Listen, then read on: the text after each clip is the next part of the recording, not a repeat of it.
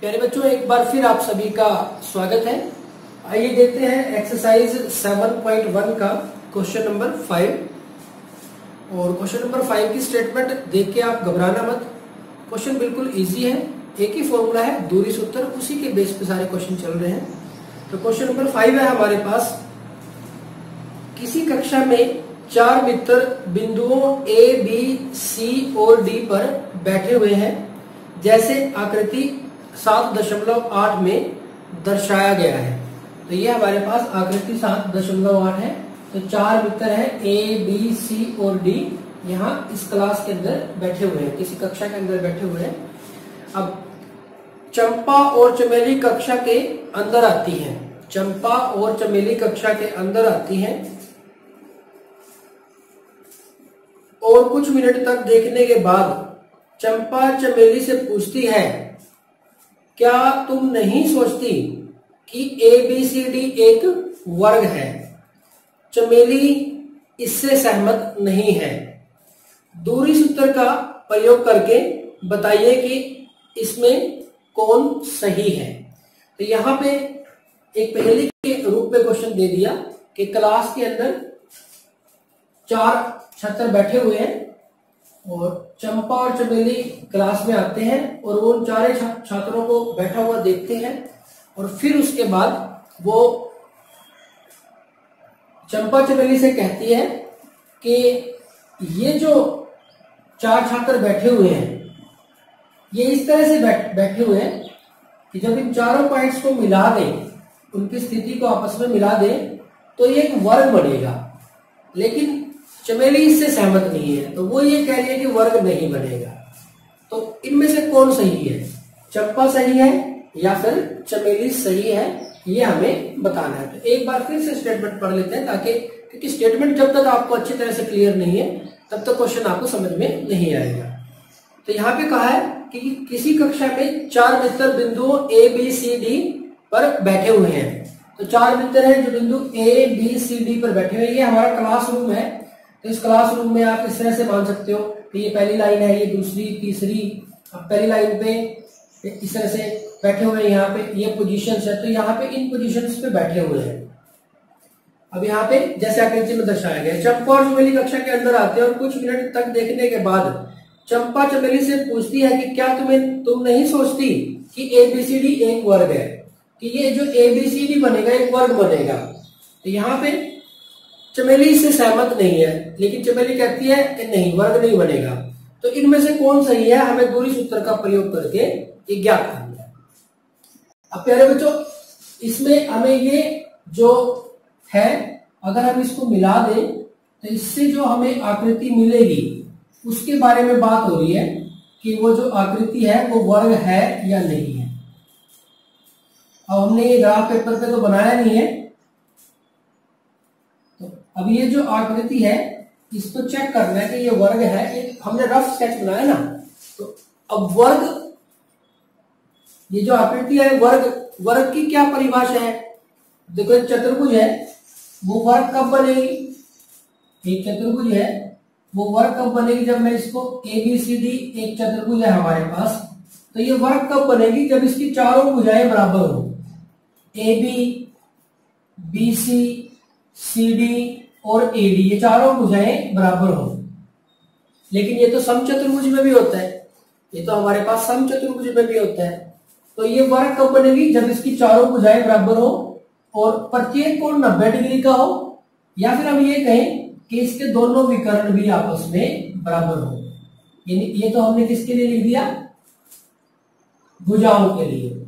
और ये हम किसके लिए लिखेंगे? विकर्ण के लिए। कि ऐसी विकर्ण है जो वो किसके बराबर हो? बीडी विकर्ण के बराबर हो। तो अब हमें क्या करना है? छह बार दूरी सूत्र निकाल लगाना है। एक बार भुजा ए बी निकालने के लिए, फिर बीसी निकालने के लिए, फिर सी डी निकालने के लिए, फिर एडी निकालने के लिए, फिर विकर्ण ए सी निकालने के लिए और फिर विकर्ण बीडी निकालने के लिए। तो हमें क्या करना है? हमें इसमें छह बार दूरी सूत्र लगाना है और फिर हमें पता चलेगा कि ये वर्ग है या नहीं है। पहले बच्चों, एक बात ध्यान रखो कि ज़्यादातर स्टूडेंट क्या करते हैं कि चारों भुजाएँ बराबर दिखा के और क्या देते हैं कि ये वर्ग है। लेकिन ऐसा नहीं है, चारों भुजाएँ बराबर तो सम चतुर्भुज में भी होती है। लेकिन सम चतुर्भुज के जो विकर्ण है, वो बराबर नहीं होते हैं। तो ये आपको ध्यान रखना अब देखो, इसको कैसे करेंगे? अब जो चार स्टूडेंट थे, जो चार छात्र थे, उनकी जो पोजीशन है, उनके जो पॉइंट्स है, वो देख लेते हैं। अब देखो ए पॉइंट है जो। इसके कोऑर्डिनेट देखते हैं। पहले एक्स कोऑर्डिनेट लिखते हैं तो यहाँ नीचे आएँगे तो थ्री पे आएगा। तो ये हो जाएगा हमारे पास थ्री और इधर जाएँगे तो ये फोर पे तो ए जो पॉइंट है हमारा, उसके कोऑर्डिनेट है थ्री फोर इसी तरह से बी पे आ जाओ। एक्स एक्सिस पे सिक्स मिला तो ये हो गया सिक्स और वाई एक्सिस पे सेवन तो बी के कोऑर्डिनेट है सिक्स सेवन इसी तरह से सी पे चलते हैं।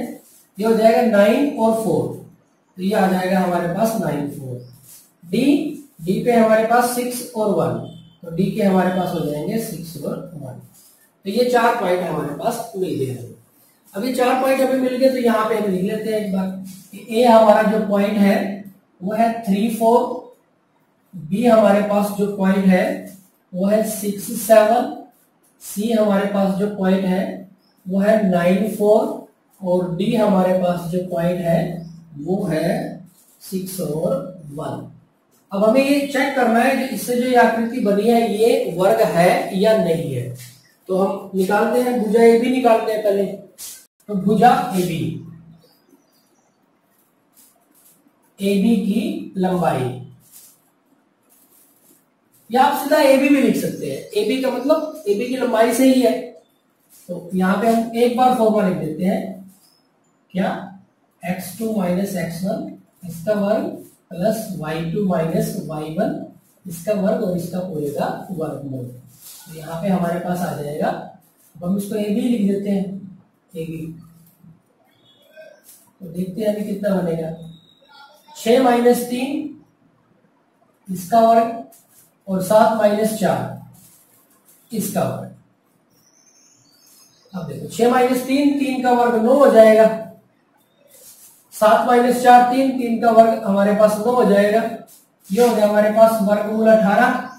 इसको लिख सकते हैं नौ गुना में दो और नौ से तीन बाहर आ जाएगा।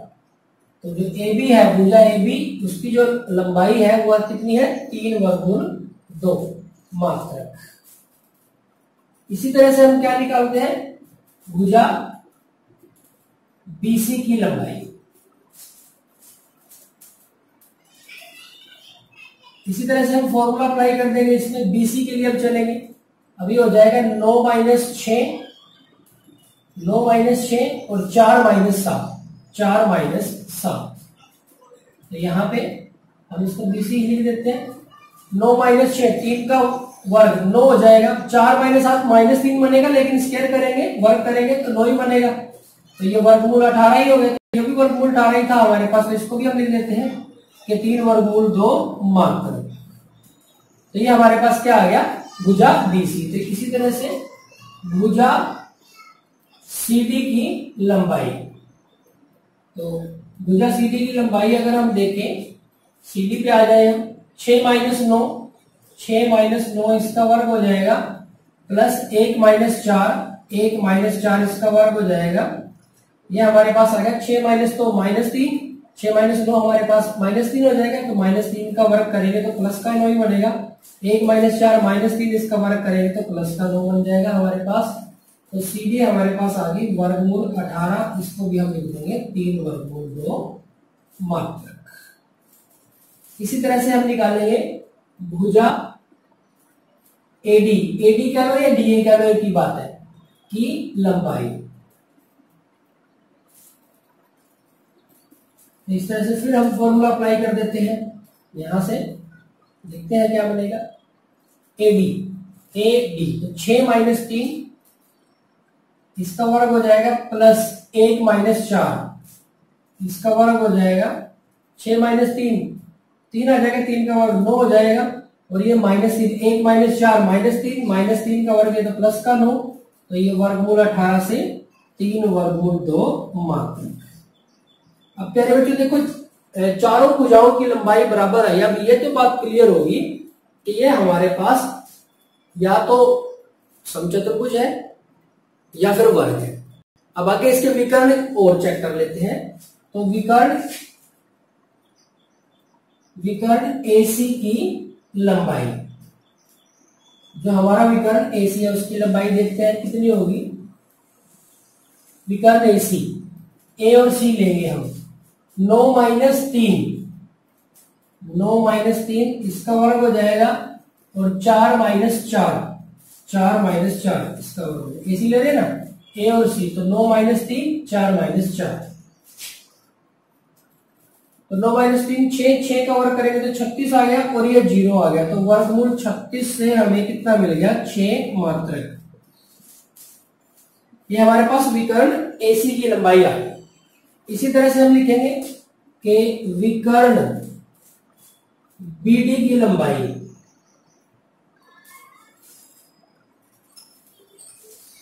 बीडी छ माइनस छ इसका वर्ग हो जाएगा प्लस एक माइनस सात, एक माइनस सात, इसका वर्ग हो जाएगा। तो यहाँ पे छह माइनस छह ज़ीरो ज़ीरो का वर्ग तो ज़ीरो होगा। एक माइनस सात माइनस छह का करेंगे जब वर्ग तो छत्तीस बनेगा तो ये वर्गमूल छत्तीस तो इससे छह मात्रा का। अब आप देखो दोनों विकर्ण भी बराबर आ गए। तो हमारे पास क्या हो गया? दोनों विकर्ण भी बराबर आ गए। तो हम लिख सकते हैं कि चतुर्भुज ए बी सी डी में, चतुर्भुज ए बी सी डी में ए बी बराबर है बी सी बराबर है सी डी बराबर है ए डी ये क्या है? भुजाएँ ये हमारे पास भुजाएँ होगी और ए सी बराबर है बी डी ये क्या है हमारे पास? विकर्ण। तो चारों भुजाएँ बराबर है और दोनों विकर्ण बराबर है तो इसका मतलब ये क्या है? एक वर्ग है। तो हम क्या लिखेंगे? कि हाँ ए बी सी डी एक वर्ग है। ए बी सी डी एक वर्ग है। तो ये हमारे पास इसका आंसर आ जाएगा तो प्यारे बच्चों, ये था हमारे पास क्वेश्चन नंबर फाइव। काफ़ी इंटरेस्टिंग क्वेश्चन था। बस ये है कि आपको इसमें जो दूरी सूत्र है, वो छह बार अप्लाई करना पड़ेगा। सूत्र दूरी सूत्र ही अप्लाई हुआ, इसके अलावा कोई और सूत्र अप्लाई नहीं हुआ। बस आपकी अंडरस्टैंडिंग है कि आपको वर्ग के बारे में वर्ग के जो गुण है, वर्ग की जो प्रॉपर्टी है, उसके बारे में आपको पता है, या नहीं है, उसके बेस पे ये क्वेश्चन चल रहे हैं। तो प्यारे बच्चों, ये था हमारे पास क्वेश्चन नंबर फाइव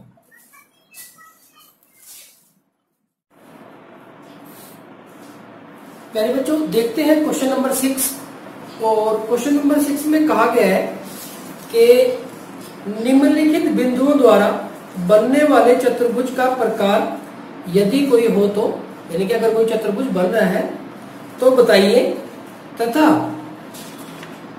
अपने उत्तर के लिए कारण भी दीजिए।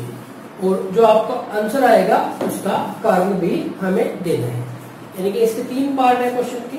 हमें चार बिंदु दिए हुए हैं, और इन चार बिंदु से किस प्रकार का चतुर्भुज बन रहा है, ये हमें बताना है।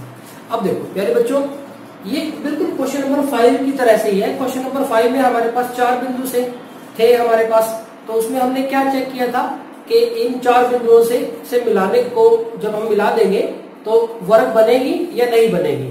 तो वर्ग का जो गुण है, उसको हमने जांचा और फिर पाया कि वो वर्ग थी। तो इस तरह से कोई भी अगर हम एक चतुर्भुज के चार बिंदु लेते हैं, मान लो कोई भी चार बिंदु है ए बी सी और डी यानी कि कुछ इस तरह से चार बिंदु है, हमने वैसे ही लिख दिए, कुछ भी हो सकता है ये। तो हमने ये चार बिंदु ले लिए। तो इन चार बिंदु से जो चतुर्भुज बनेगी वो कैसी होगी? इसके बारे में बताना है अब जो चतुर्भुज होगी हमारे पास, वो जो चतुर्भुज हमें मिलेगी, वो वर्ग भी हो सकती है। वो सम चतुर्भुज भी हो सकती है। वो आयत भी हो सकती है और वो समानांतर चतुर्भुज भी हो सकती है।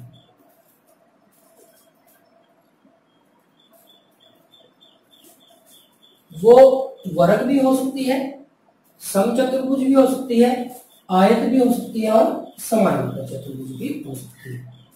अब देखो कोई भी चतुर्भुज वर्ग कब बनती है? जब उसकी सारी भुजाएँ बराबर हो और दोनों विकर्ण बराबर हो। यानी कि आपको चाहे वर्ग सिद्ध करना है, चाहे समानांतर चतुर्भुज सिद्ध करना है, चाहे आयत सिद्ध करना है, चाहे समानांतर समचतुर्भुज और समानांतर चतुर्भुज सिद्ध करना है, हमें क्या करना पड़ेगा? ए बी भुजा बीसी भुजा सी डी भुजा और ए डी ये भुजाएँ निकालनी पड़ेगी।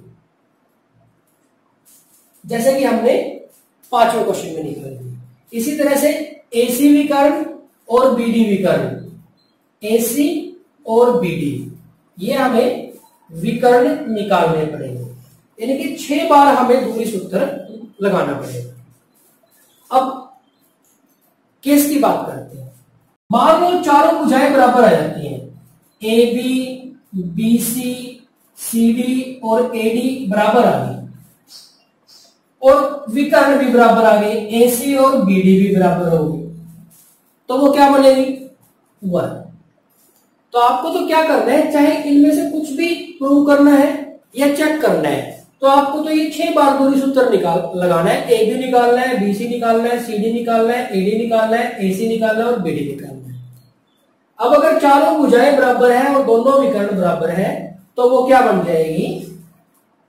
वर्ग बन जाएगी।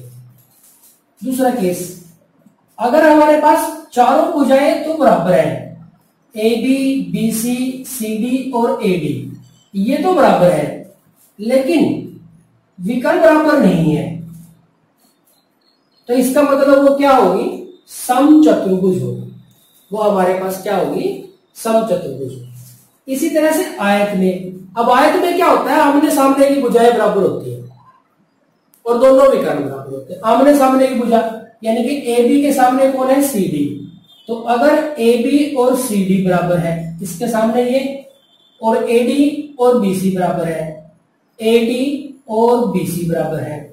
आमने सामने की भुजाएँ बराबर है और दोनों विकर्ण बराबर है ए सी और बी डी ये बराबर है तो वो क्या हो जाएगी? आयत। जो चतुर्भुज होगी, वो क्या होगी? आयत होगी। ठीक इसी तरह से समानांतर चतुर्भुज में क्या होता है? आमने सामने की भुजाएँ तो बराबर होती है, लेकिन विकर्ण बराबर नहीं होते।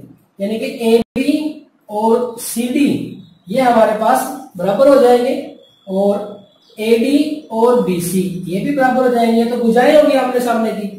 और जो विकर्ण है ए सी और बी डी ये आपस में बराबर नहीं होंगे। तो वो क्या बन जाएगी? समांतर चतुर्भुज बन जाएगी। अब देखो पहले बच्चों, चाहे कोई भी केस हो, आपको छह बार दूरी सूत्र लगाना है और फिर चेक करना है कि इनमें से कौन सी बात बनती है। तो उसके हिसाब से हमारा ये क्वेश्चन है। अब ये क्वेश्चन बिल्कुल फाइव क्वेश्चन की तरह है। आपको ही सोल्व करना है। अगर आप, आपने दूरी सूत्र को समझ लिया है तो आप इस क्वेश्चन को बहुत अच्छे से कर सकते हैं। लेकिन अगर आपसे ये क्वेश्चन नहीं होता तो इसका मतलब आपको अभी दूरी सूत्र अच्छे से समझ नहीं आया, और फिर शुरू से आप पूरी की पूरी एक्सरसाइज को स्टार्ट करेंगे। अब अगर इसके आंसर की हम बात करें, इस क्वेश्चन के आंसर की अगर हम बात करें तो इसमें जो फ़र्स्ट पार्ट है फ़र्स्ट पार्ट है, इसका आंसर आया वर्ग। यानी कि जब आपने छह बार दूरी सूत्र लगाया और सारी भुजाएँ और दोनों विकर्ण निकाले तो चारों भुजाएँ बराबर आएँगे दोनों विकर्ण बराबर आएँगे। इसमें ये वाला लग जाएगा। A B B C C D और ए डी निकालेंगे तो ये सारे बराबर आएँगे और विकर्ण ए सी और बी डी आपस में बराबर आएँगे। ठीक इसी तरह से जो इसका तीसरा पार्ट है, उसका जो आंसर है समानांतर चतुर्भुज। है समांतर चतुर्भुज इसका आंसर है। समांतर चतुर्भुज। तो इसके लिए क्या रहा होगा? समांतर चतुर्भुज कौन सी होती है? आमने सामने की भुजाएँ बराबर होती है, विकर्ण बराबर नहीं होती है। यानी कि ए बी और सी डी बराबर आ जाएगा। ए डी और बी सी बराबर आ जाएगा और ए सी और बी डी बराबर नहीं आएगा। अगर ये बराबर आ जाता तो फिर क्या बन जाता? आयत बन जाती। तो इसमें क्वेश्चन नंबर फाइव में भी, क्वेश्चन नंबर सिक्स के फ़र्स्ट पार्ट में भी और थर्ड पार्ट में भी सेम ही सिचुएशन है, कोई ज़्यादा फ़र्क नहीं है। तो आप इसको कंप्लीट करोगे। अब जो सेकंड पार्ट है इसका सेकंड पार्ट का आंसर है कि ये चतुर्भुज ये नहीं है। ये हमारे पास जो चार पॉइंट दिए हुए हैं, यहाँ से चतुर्भुज ही नहीं बनती है। तो इसका कैसे पता चलेगा? वो देखते हैं हम। इसका जो सेकंड पार्ट है, वो देखते हैं। इसमें कहा गया है कि ये चतुर्भुज ही नहीं है। तो हमें तो क्या करना है? हम तो क्या करेंगे? साइड्स निकालेंगे।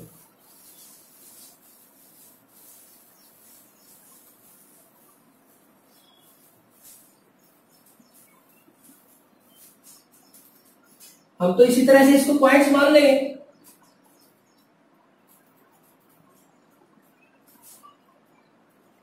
सेकेंड पार्ट में ये हमारा ए पॉइंट ये बी पॉइंट ये सी पॉइंट और डी पॉइंट तो हम क्या करेंगे? ए पे निकालेंगे। ए बी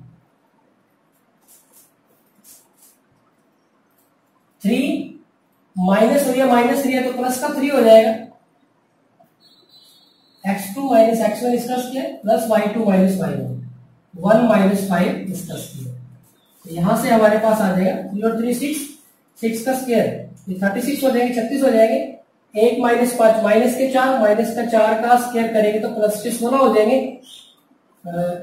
छत्तीस और छह बयालीस और दस बावन। तो अगर आप इसको लिखना चाहो तो चार गुना में तेरह लिख सकते हैं और चार से दो वर्गमूल तेरह हो तो ये आ गया हमारे पास ए बी अब निकालते हैं हम बी सी बी सी अब बी सी के लिए देखते हैं B C X two minus X one zero minus three इसका वर्ग हो जाएगा और तीन माइनस एक। इसका वर्ग हो जाएगा। ज़ीरो माइनस थ्री माइनस तीन का वर्ग नौ ही हो जाएगा। तीन माइनस एक, दो से हमारे पास चार। तो ये वर्गमूल तेरह हो इसी तरह से हम क्या करते हैं? सी डी निकाल देते हैं। C D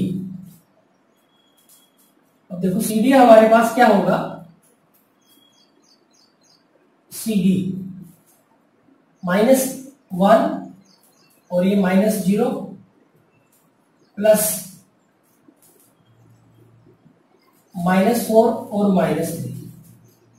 X two minus X one और वाई टू माइनस वाई तो यहाँ से माइनस एक ही बनेगा माइनस एक का स्क्वायर तो एक ही होगा। या माइनस सात बनेंगे प्लस ही आएगा हमेशा माइनस तो आएगा माइनस सात का स्क्वायर वर्क करेंगे जब हम तो प्लस के उनचास हो जाएँगे तो ये पचास बन जाएँगे। तो हम इसको लिख सकते हैं पच्चीस गुना में दो, और इससे आ जाएगा पाँच वर्गमूल दो। इसी तरह से हम क्या निकाल लेते हैं? ए डी ए डी हमने जब निकाला ए डी हम निकालते हैं। माइनस वन और ये प्लस का थ्री हो जाएगा। माइनस वन और माइनस माइनस थ्री तो प्लस का थ्री हो जाएगा। इसका स्क्वायर और माइनस फोर और माइनस फाइव, इसका स्क्वायर इसमें से ये माइनस अब यहाँ से हमारे पास माइनस वन और प्लस का थ्री टू रह जाएँगे। दो रह जाएँगे, दो का स्क्वायर करेंगे तो चार हो जाएगा। माइनस चार और माइनस पाँच, माइनस नौ तो निम इक्यासी, प्लस का आ जाएगा। तो ये हमारे पास आ जाएगा पचासी। अब देखो, यहाँ से तो सारे अलग अलग है। विकर्ण और देखते हैं एसी एसी एसी है हमारे पास ए और सी के लिए। तो ज़ीरो प्लस थ्री हो जाएगा। इसमें से माइनस करेंगे माइनस माइनस प्लस हो जाएगा प्लस थ्री माइनस फाइव इसका स्केयर ये नौ हो जाएँगे प्लस माइनस दो का स्केयर करेंगे तो चार हो जाएँगे। तो ये आ जाएगा हमारे पास तेरह। और डी डी ये भी निकाल दो तो डी डी पे हम अगर हम करते हैं तो माइनस वन और माइनस थ्री इसका स्केयर करेंगे प्लस बी और डी पे। माइनस वन ये माइनस थ्री हो जाएगा। माइनस फोर और ये minus one, minus four, minus one. तो यहाँ से माइनस तीन और एक माइनस चार हो जाएगा, माइनस तीन और माइनस एक, माइनस चार, उससे सोलह मिल जाएँगे हमें। माइनस चार और माइनस एक, माइनस पाँच, उससे पच्चीस मिल जाएँगे हमें। पच्चीस और छह, इकतीस और दस, इकतालीस। अब देखो, ये तो बिल्कुल ही अलग आ गए सारा सिस्टम बुझाए भी आपस में बराबर नहीं है, विकर्ण तो बराबर हो भी सकते हैं और नहीं भी हो सकते हैं। लेकिन आप एक चीज़ इसमें देखें यहाँ पे आप इसको इसको और इसको ध्यान से देखें। हमारे पास क्या है कि बीसी और AC plus AC BC plus AC BC कितना है? हमारा तेरह। और एसी भी कितना है? वर्गमूल तेरह। और एसी भी कितना है? वर्गमूल तेरह बराबर है A B. BC plus AC बराबर है ए बी। क्यों? क्योंकि वर्गमूल तेरह प्लस वर्गमूल तेरह किसके बराबर है? दो वर्गमूल तेरह ये लिखने की ज़रूरत नहीं है आपको। इसको लिखने की ज़रूरत नहीं है। तो वैसे आपको समझाने के लिए लिखा है। तो अब आप, आप देखेंगे कि बीसी प्लस एसी किसके बराबर है? ए बी के बराबर है। अब आप सोच के देखें कि बीसी और एसी का जोड़ ए बी के बराबर है, इसका मतलब कुछ ऐसे नहीं रही होगी सिचुएशन कि यहाँ ए है और यहाँ बी है तो बीच में कहीं सी है। बीसी ये वाला। प्लस एसी ये वाला। इसके बराबर हो गया? ए बी के बराबर हो गया। या फिर इसको ऐसे लिख दो कि ए सी प्लस बी सी इसके बराबर है ए बी के बराबर है। तो इसका मतलब जो बिंदु है, बिंदु ए बी और सी सरेखी बिंदु है। सरेखी बिंदु है। अगर तीन बिंदु एक ही रेखा पे हो गए देखो, एक, दो, तीन। अगर ये तीन बिंदु एक ही रेखा पे हो गए ए सी बी तो चौथा बिंदु डी कहीं भी हो, यहाँ पे हो मान लो। तो इसको जब मिलाएँगे तो ट्रेगल बनेगी, त्रिभुज बनेगी, चतुर्भुज बनेगी ही नहीं। जब तीन बिंदु एक ही रेखा पे हो गए तो चौथा बिंदु जहाँ मर्ज़ी लगा लो, यहाँ लगाओगे तब भी ट्रैंगल बनेगी, यहाँ लगाओगे तब भी ट्रैंगल बनाओगे, बनेगी। कहाँ मर्ज़ी लगा लो आप उसको ट्रैंगल ही बनेगी। वो हमारे पास फिर चतुर्भुज नहीं बनेगी। तो इस केस में चतुर्भुज नहीं बनेगी। तो यहाँ पे हमारे पास इसका क्या आंसर आ जाएगा कि इन बिंदुओं से चतुर्भुज नहीं बनेगी। तो यह चतुर्भुज नहीं है। तो आप सीधा लिख सकते हैं कि चतुर्भुज नहीं है। तो ये इसका आंसर हो गया। या पूरा लिखना चाहो तो पूरा लिख सकते हो कि बिंदुओं ए बी सी और डी से चतुर्भुज नहीं बनती है क्योंकि ए बी और सी सरेखी बिंदु है। तो प्यारे बच्चों यह है हमारे पास क्वेश्चन नंबर सिक्स तो काफ़ी इंपोर्टेंट क्वेश्चन है, लेकिन अंडरस्टैंडिंग बेस्ड क्वेश्चन है। आपको इसकी प्रैक्टिस करनी है। जो अलग पार्ट था वो मैंने आपको बता दिया है। पार्ट सभी में इसी तरह से सारे छह पार्ट निकालने हैं, चारों बुझाएँ निकालनी है और दोनों विकर्ण निकालने हैं। फिर आपको चेक करना है कि जिस भी प्रकार की चतुर्भुज है, उसके जो गुण है, वो मैच करते हैं कि नहीं करते हैं। यहाँ पे देखो, कोई ऐसे गुण मैच नहीं किया तो फिर हमने चेक किया कि ये तो क्या समस्या आई कि जो तीन पॉइंट है, वो एक ही लाइन पे है। अगर तीन पॉइंट एक ही लाइन पे हो गए तो एक पॉइंट बाकी का कहीं भी हो। तो त्रिभुज बनेगी, चतुर्भुज नहीं बनेगी तो चतुर्भुज बनती ही नहीं है तो चतुर्भुज का प्रकार कैसे बता सकते हैं तो यहाँ पे जो इसका जो आंसर हुआ हमारे पास तो यहाँ पे ये चतुर्भुज ही नहीं है, चतुर्भुज नहीं है, ये ही इसका आंसर है। तो प्यारे बच्चों, ये था हमारे पास क्वेश्चन नंबर सिक्स